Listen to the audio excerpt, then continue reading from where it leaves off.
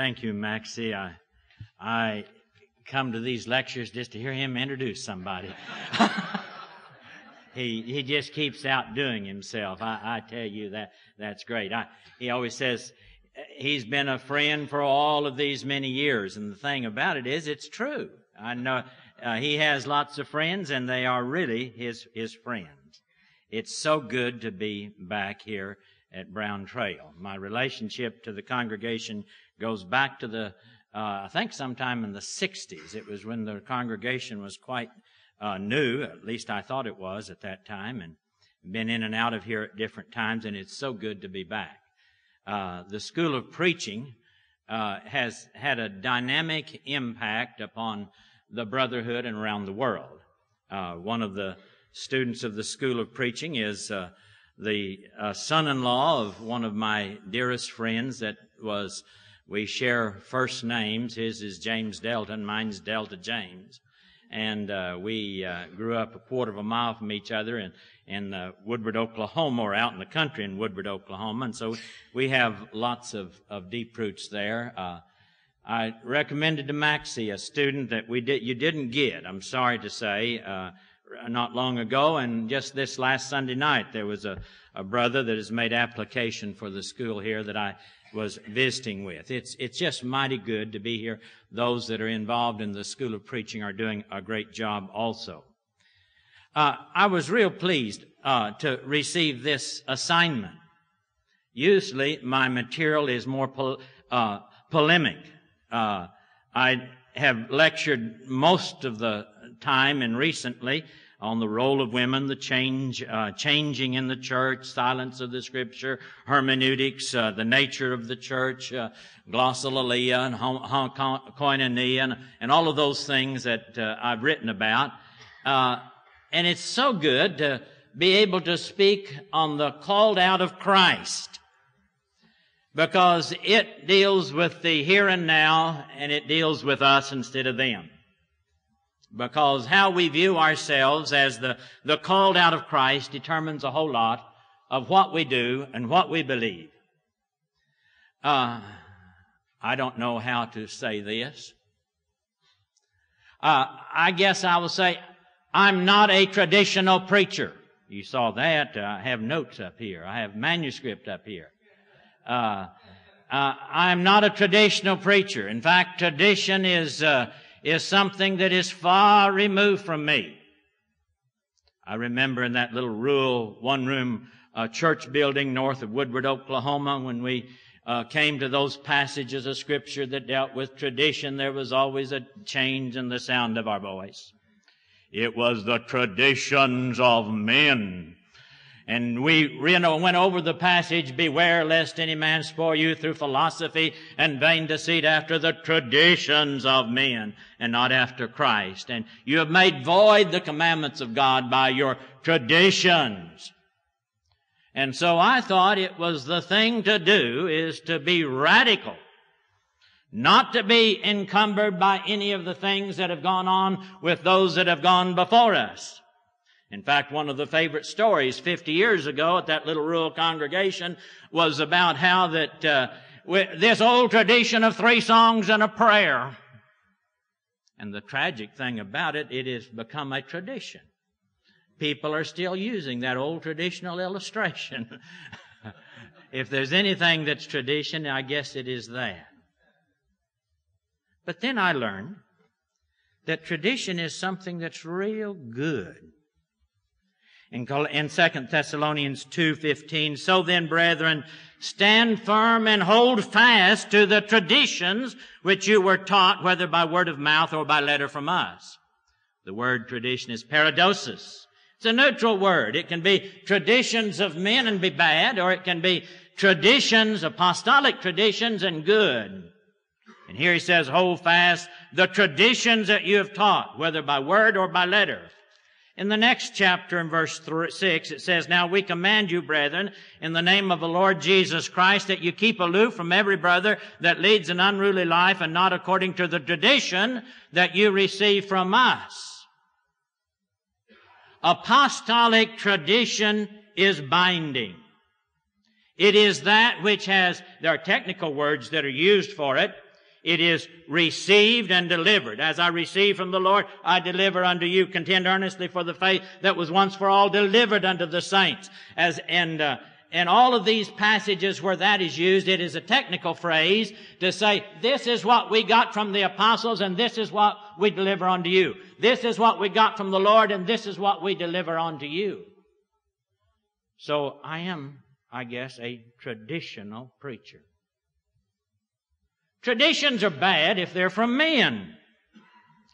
They're good if they're from God. We're in the stance of changing traditions. And in these changing traditions, we shouldn't, we shouldn't rebel. We should just see which direction they're going. Anything that is changed toward the Word of God is restoration. Anything that is changed away from the Word of God is apostasy. Change is not wrong. Repentance is change. Restor- restoration is change. But what are we changing from and what are we changing to? And this is the reason that I am real pleased to deal with. Open your Bibles, if you will, to First uh, Peter, the second chapter, verse 9 and following. Members of the Church of Christ are special people because they are the called out of Christ. They are not special because of who we are but whose we are. We find our identity and our glory in the one that has called us. Our existence, our ideals, and our conduct are all wrapped upon, up in who Jesus is and what he taught. This passage of scripture was written to those that had been persecuted and driven from their homelands in Asia. They were scattered abroad. And the apostle tells them who they are and told, tells them how they got to, to be who they are and tells them how who they are determines the conduct of their life. Notice in verse 9, it says that who we are. We are aliens and strangers, and we find our identity and our relationship with God. We are, in verse 9, a chosen race, a royal priesthood, a holy nation, a people for God's own possession. Notice, we are, because of who we are, it sets us off distinctively apart from the rest of the world. And as who we are, we are to do something that you may pro- proclaim the excellency of Him who has called you out of darkness into His marvelous light. And then He tells us why we are who we are in verse 10. For you once were not a people, but now are the people of God. You had not received mercy, but now you receive mercy. This is, of course, from Hosea, and he says, uh, this is where we get our identity, not because of what we have done or who we are, but because we have been chosen of God. And then he tells us in verse 11 how we are to act. Beloved, I urge you as aliens and strangers to abstain from fleshly lust. Verse 12, keep your behavior excellent among the Gentiles. Verse 13, submit yourselves and then he goes on down to submit yourselves unto your masters in verse 18 to submit yourselves unto wives to their husbands on down in chapter 3. He said, submission to governors, submission unto slaves to masters, submission of wives unto the husbands is the, is the, uh, the context of this text. Now, because of this, there are certain things that we are to look at as the called out of Christ. Verse 9 and 10 identifies those that are called out of Christ. They are the chosen race, the royal priesthood, a holy nation, a people of God's own possession. And then the rest of the verses tell us how we are to act. They're to abstain from fleshly lust which war against the soul. Let's look at some of these terms. First, let's look in the chosen race. Now, in the immediate context, there are those people that have been scattered throughout uh, uh, Bithynia and Cappadocia and in Asia. And he says that you are called out. And he says this, and then he uses some Old Testament concepts and Old Testament terms. The chosen people. That's who we are. Like Israel of old, who were the chosen people in the Old Testament, we are also special to God. Not because we are so powerful or good and great, but because of His grace. A passage in Deuteronomy 10 verse 14 and following, the apostle, or the, uh, Moses write, Behold, the Lord your God belongs heaven and the highest heavens and the earth and all that is in it. He says he is the great and good and powerful God. He says, yet on your fathers did the Lord set his affections to love them and to choose their descendants after them, even you above all people. Don't you know that that, that, that just showed them who they were? He says, the great God of gods, the one that spoke the universe into existence, the one that is, is all powerful and all knowing, He chose you. It was not Israel's merit that identified them as God's people. It was the sovereignty choice of God. In the similar way, we are God's chosen race, not because of our merit, but because we have been chosen of God. We are feel, we are been received by His grace. Paul expresses that so beautifully in Romans, the fifth chapter, 6, 8, and 10, when he says, When we were yet helpless, the right time Christ died for the ungodly. While we were yet sinners, Christ died for us. While we were enemies, we were reconciled unto God.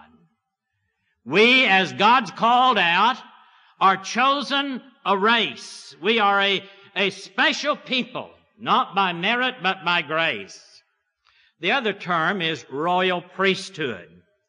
Our identity as the called out of Christ involves both the royalty of kingship and the holiness of priesthood.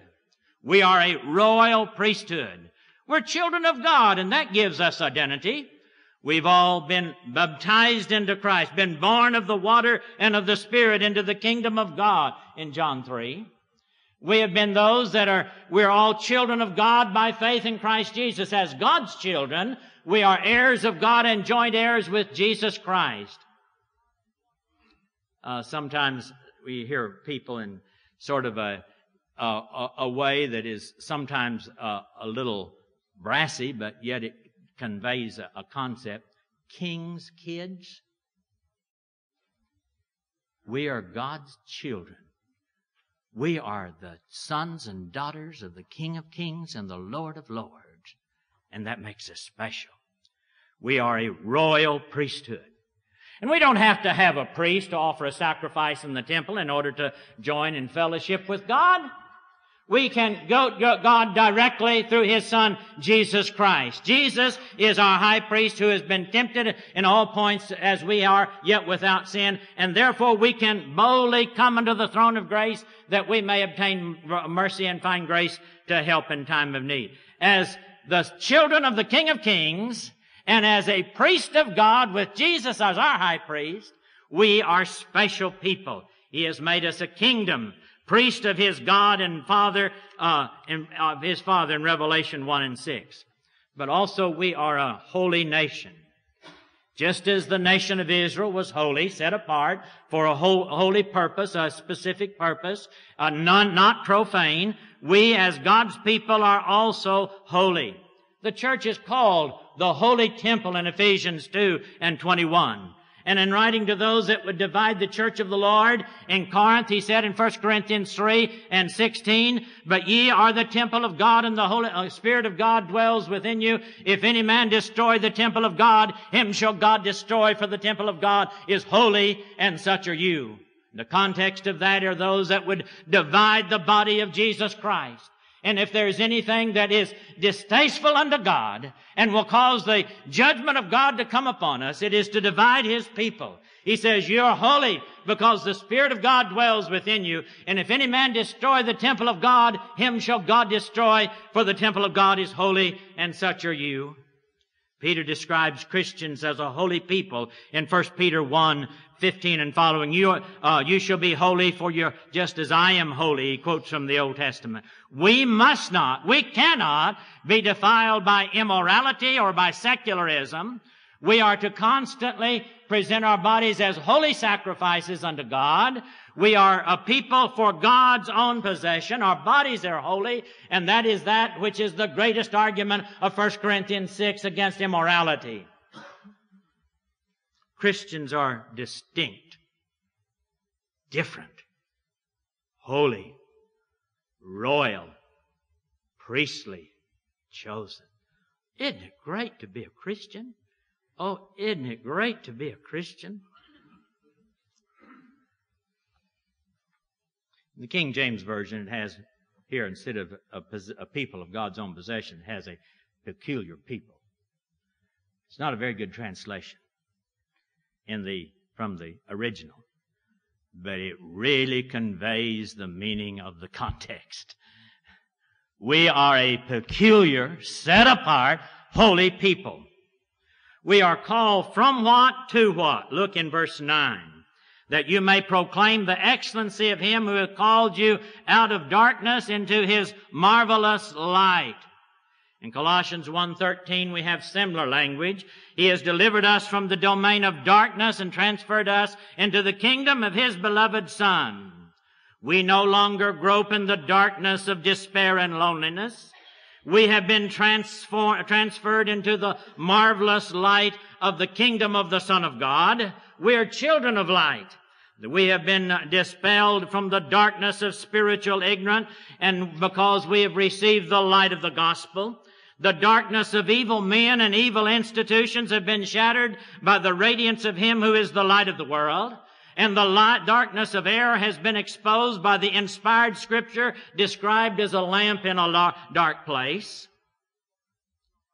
We have been called for a purpose to proclaim the excellency of Him who has called us out of darkness. We have been called to call others.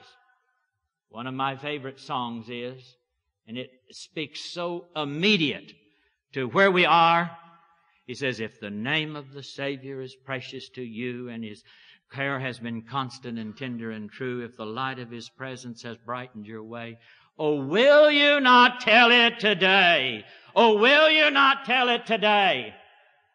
Because of who we are, we share the faith that we have with the world.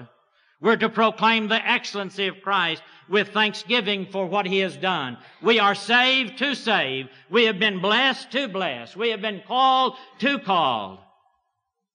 I like the song that the university students used to sing. He is my everything. He is my all. He is my everything, both great and small.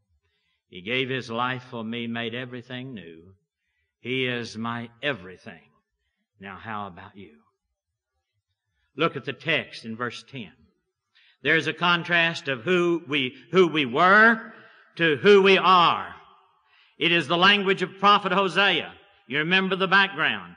Uh, at the time that Hosea prophesied, Israel had played the harlot with other gods, and God told him to take a wife of harlotry, and she bore him two daughters. The first daughter's name meant she has not obtained compassion. The second daughter's name meant that she is not my people. Or the names of these daughters reflected uh, God's rejection of Israel because of their sins. Later in a prophetic way, Hosea writes, I will have compassion on her who had not obtained compassion. And I will say unto those that are not my people, you are my people. And they will say, thou art my God. There is a prediction of restoration just as we, and this is the reason that it is used here. He says, look who you were and look who you are. Look who you were and look you where you are. You did not have compassion. Now you do. You were not my people. Now you are. Not because of anything that we have done, but because of the majesty, grace of God. Christians in time of persecution, rejection, and alienation in the culture needs this kind of affirmation. We are a, a chosen re- race, a royal priesthood, a holy nation, a people of God's own possession. We remember who we were, and by the grace of God, who we have become, the called out of God. Notice the contrast. Not my people to become the people of God. Paul uses this concept to the Gentile Christians in Ephesus, and it was, de- uh, and it so aptly describes Christians today. Remember that you were at that time separate from Christ, excluded from the commonwealth of Israel and strangers to the covenant of promise, having no hope and without God in the world. But now in Christ Jesus, you who formerly were far off have been brought near by the blood of Christ. Praise the Lord. We have, who were not a people now have become a people of God. We who had not obtained mercy now have obtained mercies. On in the, the same passage in Ephesians 2, he says in verse 4 and 5, But God being rich in mercy because of his great love with which he loved us, even when we were dead in our transgressions, has made us alive together with Christ. By grace you have been saved. The called out of Christ are those that have been saved. The word ecclesia is not in the passage.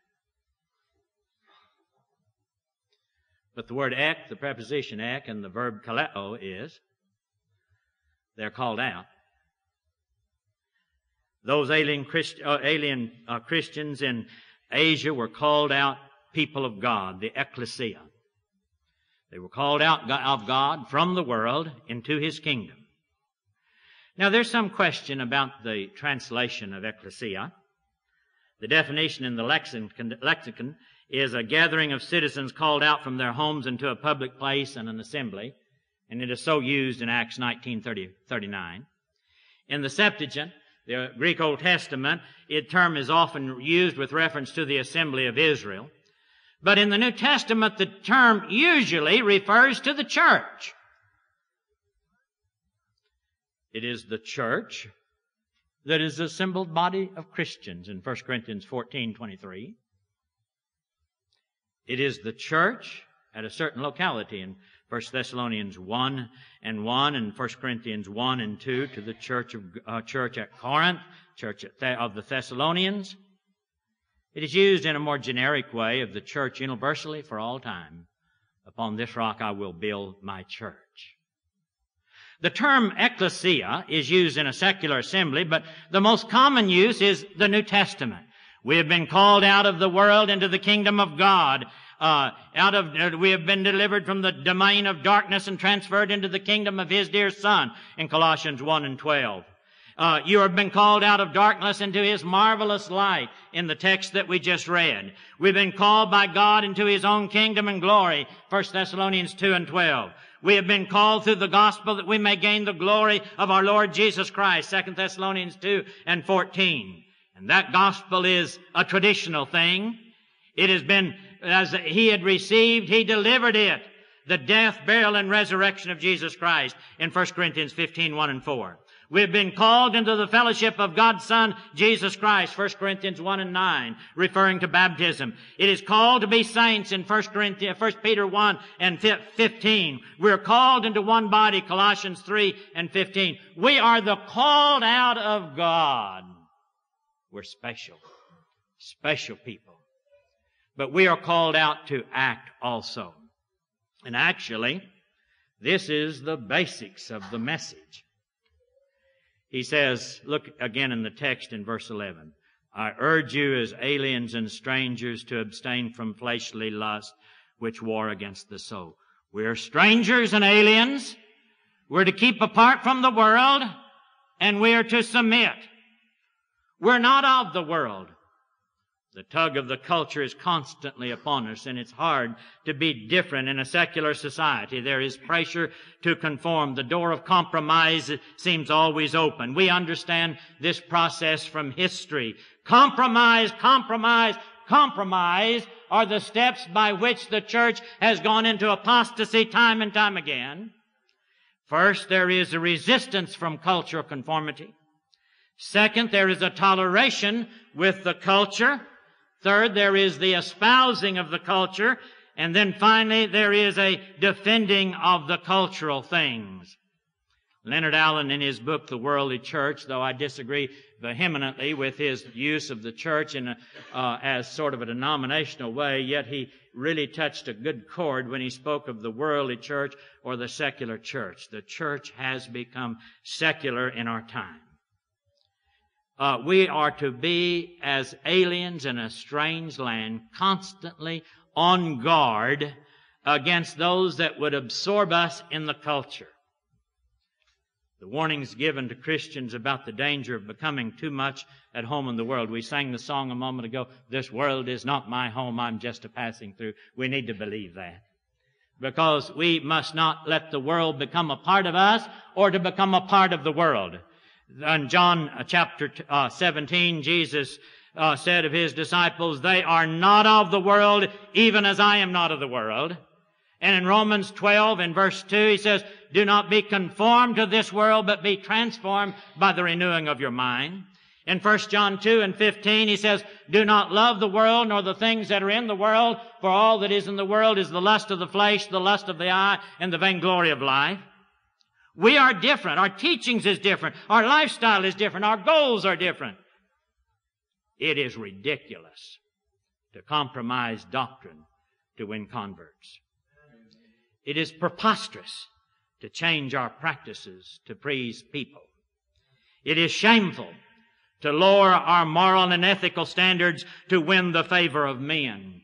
We are aliens. We are strangers. Our citizenship is in heaven. This world is not our home.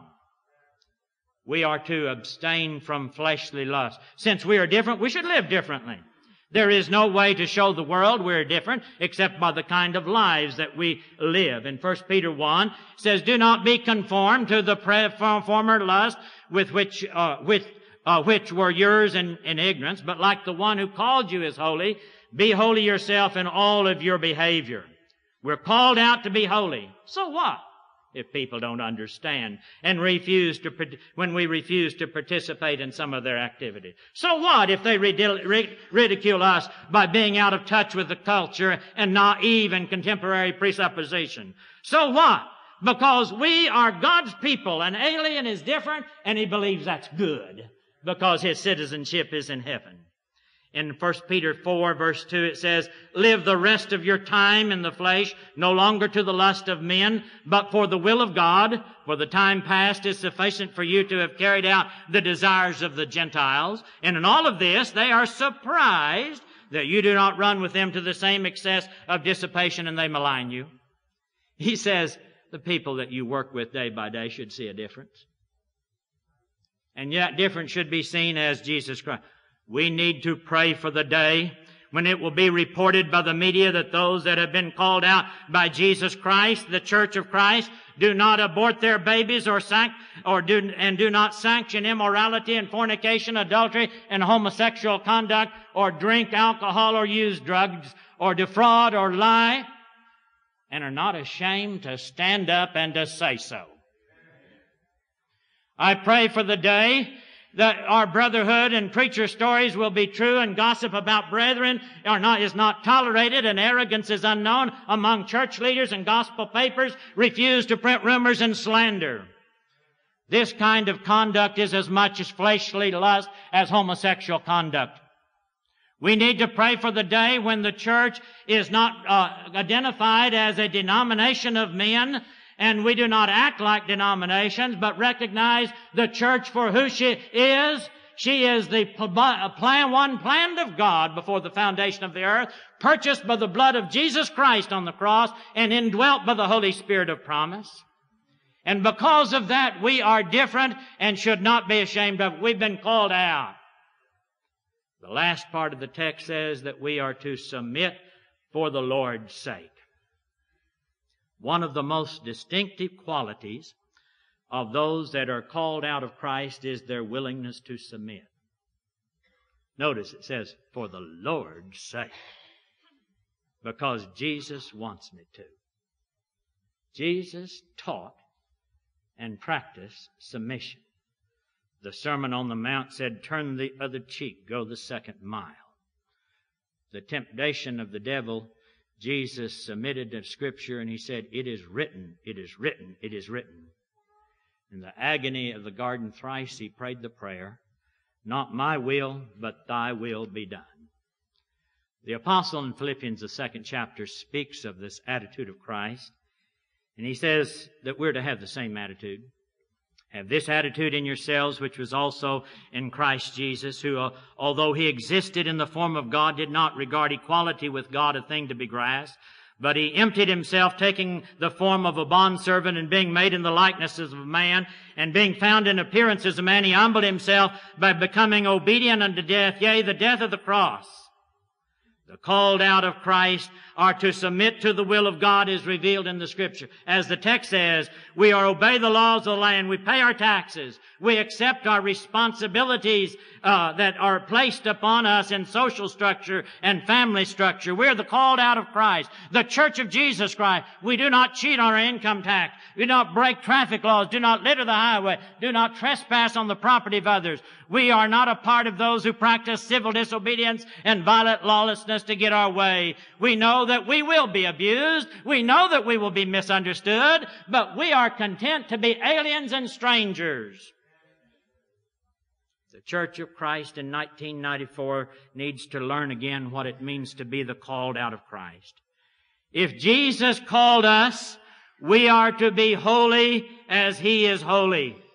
Like the one who called you is holy, be holy yourselves in all of your behavior. We are to abstain from fleshly lust and keep our conversation excellent among the Gentiles. We are, we, we can apostatize and lose our identity as quickly by compromising a holy lifestyle as we can by compromising sound doctrine. Christians should be easy to get along with. We should seek the good of others before ourselves. We should go the second mile. Let us never forget who we are. Oh, we are a chosen race. We are a royal priesthood. We're a people of God's own possession. We have been called out. We're aliens and strangers. We're not at home in this world. And we don't mix any more than oil mixes with water. We are the church of Christ, planned by God, purchased by Jesus, and indwelt by the Holy Spirit. Let us never forget who we are. Jesus Christ is our leader. He's shown us the way. We're to be in the world, but not of the world. And as Paul says in Philippians 3 and 20, our citizenship is in heaven.